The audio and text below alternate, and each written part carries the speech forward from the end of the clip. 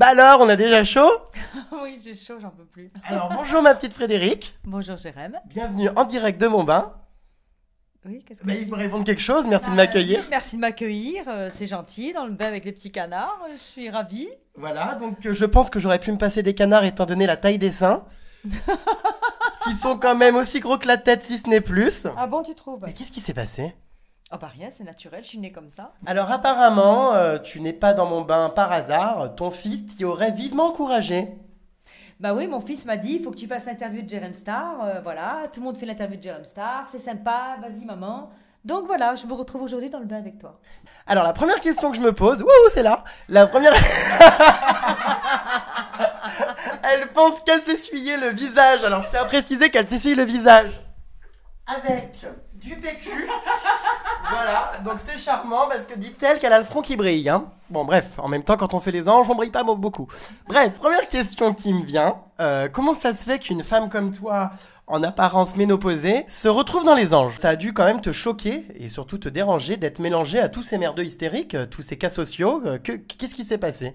Euh, ça m'a pas vraiment dérangé d'être mélangée à tout, comme tu dis, c'est cassos et non parce que je les ai tous euh, beaucoup aimés et malgré leur caractère différent, c'était pas toujours évident, mais je me suis beaucoup attachée à eux.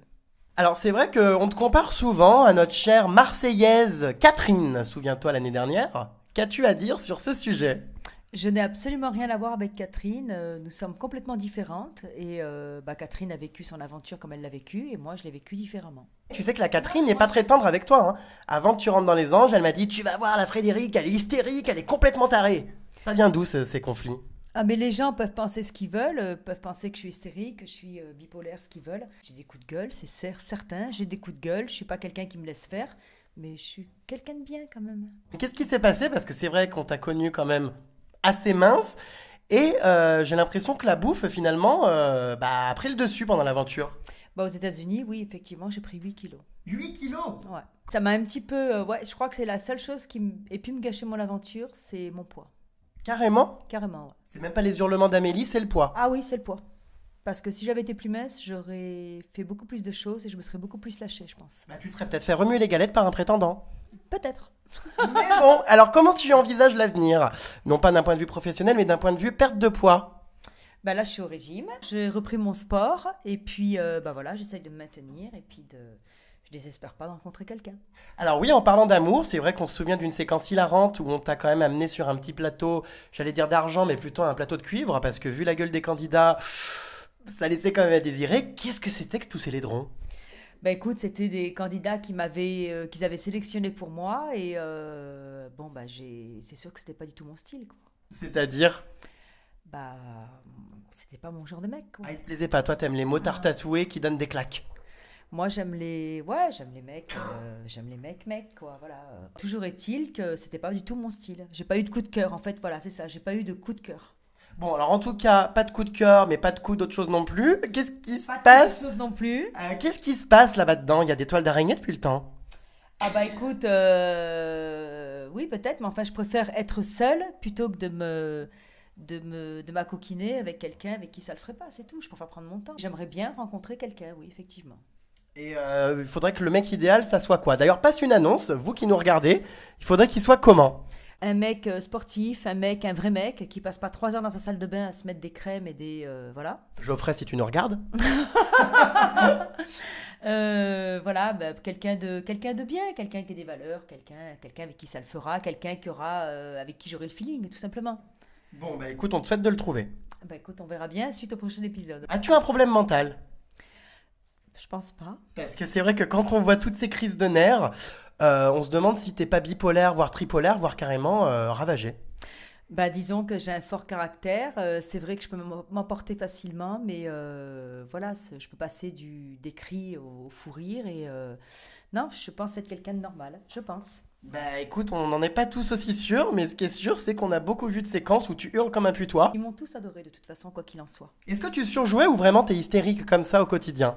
Euh, je ne surjouais pas, non. J'étais, euh, je suis pas hystérique au quotidien, mais bon, c'est vrai que euh, il y avait de quoi piquer des crises parfois à la villa. Alors, je suis allé espionner ton mur Facebook euh, et j'ai beaucoup ri. parce que je suis tombée sur une, une espèce de gamine euh, qui disait Non, non, mais attends, on s'essuie pas le visage avec du PQ. pas en pleine interview. Bon, bah, oh non, mais j'hallucine. En même temps, elle a fait Colanta. Donc oui, j'ai vu sur... Bah, je continue parce que si à chaque fois que je m'arrête que tu t'essuies le visage, on n'a pas fini. J'ai vu sur ton mur une espèce de gamine prépubère euh, qui te disait que tu étais sa maman de cœur. Alors euh, cette gamine a aussi un problème parce que pour vouloir une maman de Ah cœur non, aussi hystérique... faut croire que voilà, je suis quelqu'un qui. Je suis aimée, ça je le sais. Voilà, j'ai un fort caractère, je fais péter ma gueule souvent, mais je suis quelqu'un qu'on aime. Tu as du cœur? J'ai beaucoup de cœur, je suis très généreuse. C'est dingue Ouais, bah non, c'est dingue, c'est comme ça, je suis comme ça. Il y a beaucoup de gens en tout cas qui n'ont pas eu de cœur parce que c'est vrai que le petit Michael a été rejeté. Beaucoup de gens l'ont mis de côté. Et, et comment tu expliques ça en fait? Ben écoute, Michael s'est peut-être pas intégré comme il aurait fallu, mais en tous les cas, moi je sais que voilà, j'aimais beaucoup Michael, j'aime toujours beaucoup Michael, parce que bon, il n'est pas parti, hein. Euh, et j'ai beaucoup pleuré quand Michael est parti. Oui, enfin arrête ton cirque, ça va 5 minutes. Tu sais non, que Michael n'est pas parti parce qu'il reprenait ses études, mais parce que la production le trouvait inexistant dans le programme. Écoute, Michael, moi j'en resterai à dire qu'il est parti pour reprendre ses études, voilà. Ne Oui, cherche non, pas la mais petite toi- bête. Non, mais moi je te dis, Voilà. Michael est parti pour reprendre ses études. Oui, Voilà. non, enfin on nous la fait pas à nous, on n'est pas con, on n'est pas né de la dernière pluie, on s'appelle pas euh, je ne sais qui. Revenons un petit peu sur ton expérience dans Colanta. C'est vrai que j'ai lu dans la presse que tu avais été vraiment traumatisé par cette expérience. J'ai détesté, Colanta. Carrément détesté Ah oui. Pas au niveau, euh, pas au niveau de la survie sur l'île, mais euh, l'équipe avec qui j'étais, enfin, je veux dire, le- voilà, l'être humain en lui-même, quoi. C'est, c'est, c'est stratège, c'est. C'était une expérience. euh, s'il y a une chose que je, s'il y a une chose que je, si je pouvais effacer ça de ma vie, je, je le ferais. Carrément? Carrément, à ce mais- il faut dire aussi que Colanta m'a apporté les anges. Voilà, c'est ce que j'allais te dire, donc faut pas cracher dans la soupe, Vermine. Ben là, je crache plus dans la soupe par rapport à ce que ça m'a apporté les anges. Tu as suivi tout ce scandale, la mort du médecin, la mort du candidat, qu'est-ce que t'en penses? Bah, J'en pense que malgré tout, euh, il y a un suivi médical qui est, euh, qui est, euh, qui est assez important sur l'île. Et voilà, c'est un, un événement dramatique. C'est très triste pour ce, pour ce gamin, parce que bon, voilà, il avait que 25 ans. C'est encore plus déplorable pour le médecin qui. Je sais pas pourquoi il a mis fin à ses jours. J'ai toujours dit, Colanta, on rentre jamais de Colanta avec un doigt en moins. C'est pas possible. En tout cas, avec des kilos en moins, est-ce que c'est vraiment vrai les Les kilos conditions En moins, ça c'est vrai, les conditions de. C'est vrai, on mange pas, c'est vrai qu'on se débrouille tout seul. Mais euh, non, il y a une assistance médicale qui est, qui est présente. Parlons des anges, on revient là-dessus parce que c'est vrai que Colanta, ça va 5 minutes. Euh, Marie, euh, qui est quand même, elle aussi, donc du coup, une candidate de Colanta, mais qui était dans l'aventure, on va dire ton ennemi. Je me souviens d'une séquence où tu lui disais euh, Écoute, Marie, je peux pas te dire que je t'adore parce que ça serait être faux cul. Effectivement, avec Marie, j'ai eu quelques petits euh, clashs. Mais bon, à l'heure d'aujourd'hui, euh, tout est réglé. J'aime beaucoup Marie. Non, mais on n'est pas dans le pays des bisounours. Il y a un moment, faut avoir on de la n'est haine. pas dans le pays des bisounours, mais j'ai pas de haine. Actuellement, j'ai pas de haine. Donc vous êtes copine comme cochonne. Oh, J'irai pas jusqu'à dire qu'on est copines comme cochonne, mais je n'ai pas de haine. Ouais, qui ça, elles finiront peut-être ensemble Non? Non, je pense pas. non. Elle a une jolie frange, on dirait un pied de porc. C'est pas gentil, Jérém. T'as envie de rire, mais tu te retiens.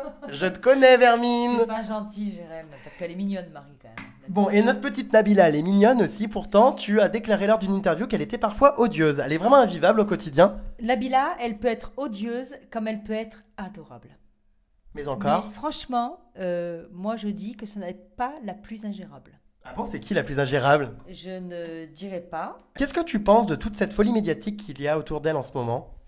Bah écoute, euh, j'espère que j'espère qu'elle en tirera profit. Enfin, j'espère qu'elle va en que ça va lui apporter. J'espère que qu'elle va réussir. Surtout, je lui souhaite vraiment de réussir. Vraiment. Et son histoire avec Thomas? Faux, vrai? Non, vrai, ils étaient assez amoureux quand même dans, le, dans les anges. Oui, non, je pense que c'est vrai. Y avait-il des rapports sexuels tiens dans la maison? Oh bah, ça baisait à couilles rabattus dans la maison. Ça, par contre, je balance. Ah, j'adore Raconte-nous tout. Bon, on se doute bien que c'est pas toi parce que là-bas dedans c'est le Grand Canyon, y a même pas une plante qui pousse. Mais qu'est-ce qui se passait Raconte-nous qui couche avec qui, on adore. Oh bah, les couples, hein, je veux dire, moi j'ai entendu plusieurs fois. Hein. Tu plaisantes? Oh bah non, je plaisante pas. Qui ça? Oh bah, les couples qu'il y avait. C'est vrai? Hmm? C'est-à-dire Nabila Thomas. Nabila Thomas, euh, Benjamin Aurélie, euh, bah les couples. bah, bah, ceci étant dit, c'est normal. Oui, c'est sûr, mais t'entendais quoi des bruits de. Bah, pff, je vais pas te faire un dessin, Jérémy. Bah si Bah quand même.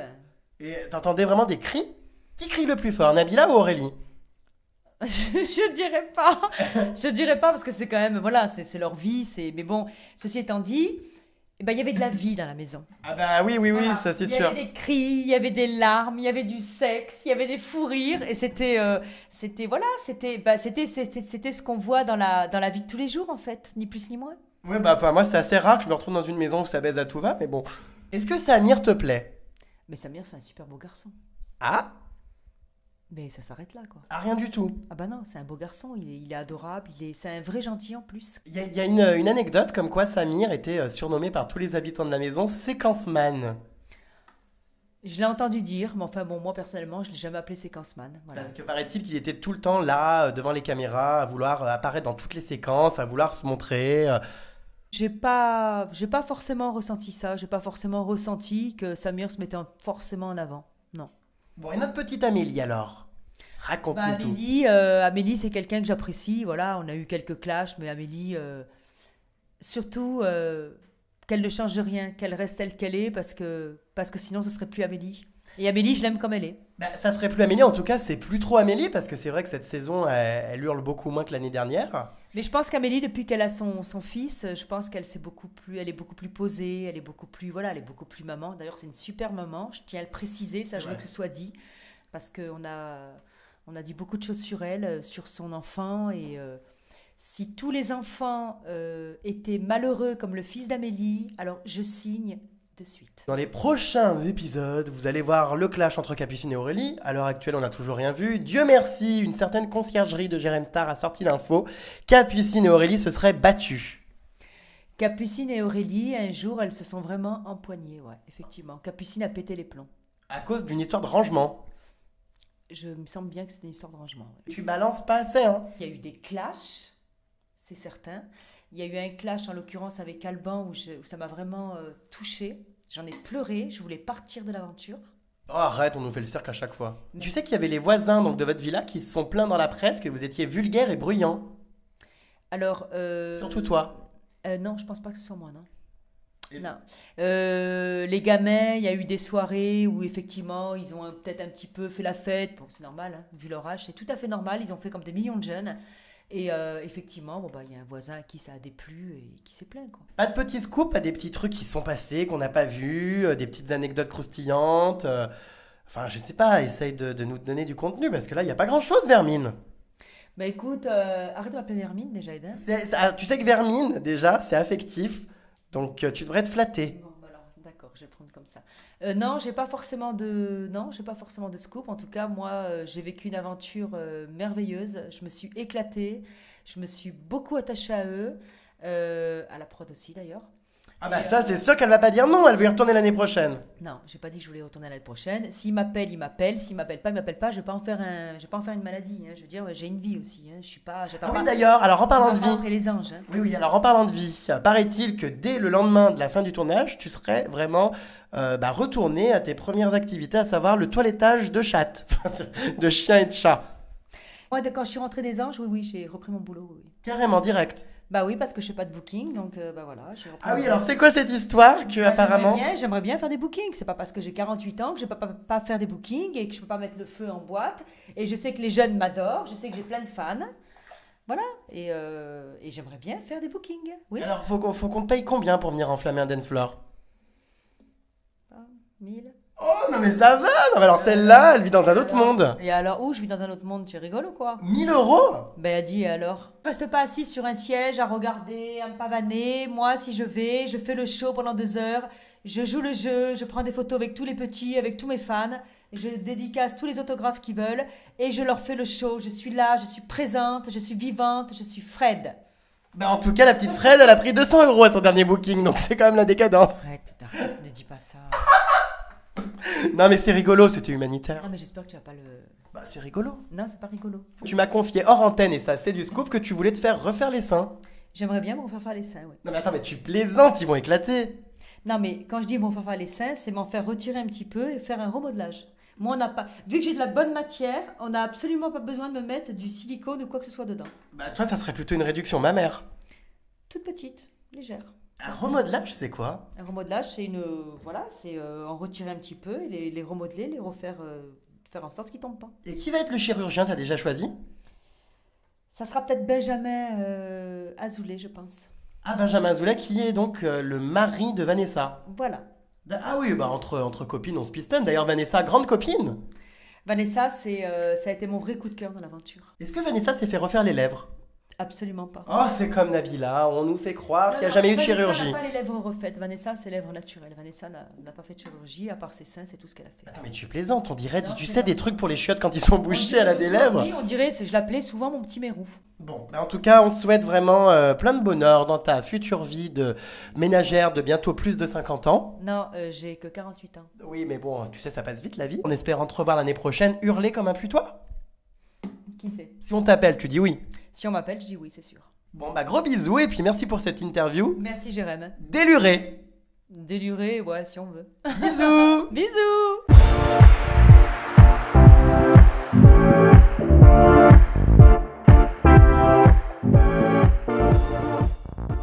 T'es trop calme là, j'ai l'impression d'avoir une femme en fin de vie. Non mais attends, j'ai pas envie qu'on voit. J'ai voilà. Mais on voit pas, en même temps, vu la taille des seins, ça fait déborder la baignoire. Bref, parce que Geoffrey envoie son gourdin à toutes mes copines, donc moi j'ai ça sur mon téléphone. Bon? Voilà, donc euh, j'attends de voir si, si il m'agace, mais il est probable que je diffuse tout ça. Ah bon? Bah, c'est connu que Geoffrey, c'est quand même pas transcendant. Mais je savais pas, moi, tu me parles de choses, suis pas au courant, moi. Eh ben maman. écoute, tu sauras la taille de la flûte à bec de Geoffrey. Ah bah dis donc. Bon, peu importe, euh, c'est pas tellement la taille, c'est... euh, La manière de s'en servir. Bah, c'est ce qu'on dit toujours. Avec ton habit de panthère bah, Ce qui est sûr, c'est que tu craches pas dans la soupe, mais moi je pisse dans le bain. Ah non, pisse pas dans le bain, Jérém, parce que ça va pas le faire. hein, je te Ah écoute, je vais pas me retenir. Donc Non, effacer... pas, hein. Bah ça y est, c'est fait, hein, t'inquiète pas, avant que je te le dise, c'était déjà fait depuis belle lurette. Donc tu es bienvenue euh, dans ce bain pour macérer dans la pisse, mais tu t'en remettras. Je crois qu'il n'y aura pas d'autre interview parce que c'est vrai que de savoir que je trempe dans la piste, ça, ça le fait pas. Jérémy, si tu urines dans le bain, je jette tes affaires dans la piscine. Ce n'est pas des menaces, c'est une promesse. oh là là, elle a, elle a le visage rose, ça a déteint. Oh là là, j'adore. Là, j'en peux plus là. Non, les gens sauront pas que c'est de la crasse. Faut que j'en mette un petit peu, non? Ouais, bah dans le trou. Ah mais c'est du bec C'est même pas du gel, du, du, du, normal Non, mais... Oh non, c'est bon, arrête. Non, non, mais on s'est dit qu'avec de la vieille vaisselle, il fallait l'entretenir. Oh non, là, vous abusez là. On a toujours fait ça, jamais personne s'en est. C'est pas Frédéric des Anges 5 qui va commencer. Bon allez, ça suffit maintenant, on a assez rigolé. Moi je suis pas là pour rigoler, je suis là pour travailler.